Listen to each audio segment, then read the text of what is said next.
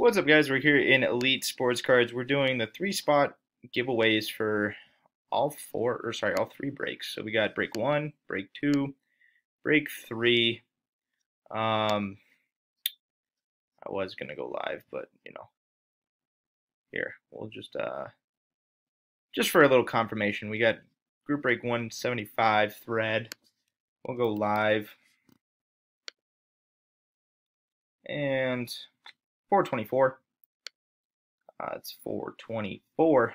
So I'm just going to do all three in one shot. Each list is going to get ran three times with top spot after each time, each winning $50 group break credit, giving away $150 in group break credit because I'm a fucking G.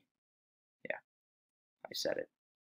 One, two, three. Marty.